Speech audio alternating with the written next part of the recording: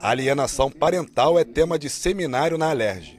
A conferência, realizada na Escola do Legislativo, tem o objetivo de qualificar conselheiros tutelares e profissionais das áreas voltada para a defesa da criança e do adolescente e melhorar o atendimento às famílias. A interferência psicológica provocada nos filhos por um parente contra outro membro da família que também esteja responsável pela guarda é considerada crime no Brasil. Desde 2010 nós já temos legislação que trabalha a questão da alienação parental. A gente esbarra ainda com vários órgãos públicos e aí os conselhos tutelares são a porta de entrada, ou deveriam ser a porta de entrada, para você mediar essa situação de conflito, em que a criança é o objeto do cabo de guerra entre pai e mãe, geralmente. Então, esse desconhecimento amplia a possibilidade de dano. Devido às separações conjugais traumáticas, muitas crianças sofrem a síndrome da alienação parental.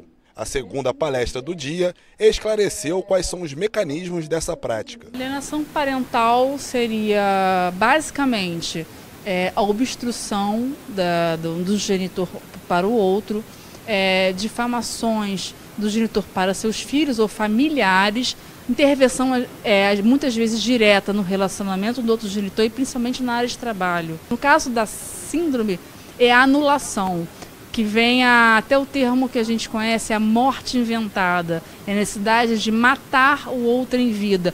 E principalmente os casos de abuso sexual, eles acontecem na questão da síndrome de alienação parental. Outro desafio que os profissionais de assistência social enfrentam é saber como lidar com as novas configurações familiares. A gente tem atualmente um número muito grande de família monoparental. Né? A família que era composta pelo pai, pela mãe, ela tem diminuído e aumentado muito a família monoparental. E essas configurações elas vão mudando a partir do momento que, com a união estável, você também pode se relacionar com alguém do mesmo sexo. Então a, a família ela ela está mudando, né? E o conselheiro tutelar é importante ele estar tá, uh, atualizado nessas questões de família, né? Que a família ela, ela se reconfigura, que ela muda, mas é que ela continua sendo uma família. Um dos palestrantes do dia já foi vítima de alienação parental.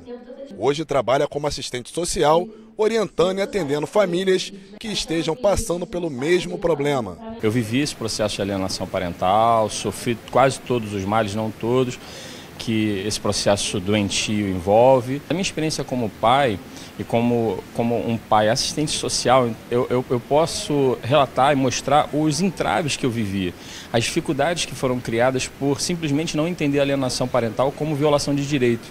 Então, a minha fala hoje vai ser principalmente nesse sentido, de demonstrar claramente, ou o mais claro possível, que a alienação parental é uma violação de direito da criança.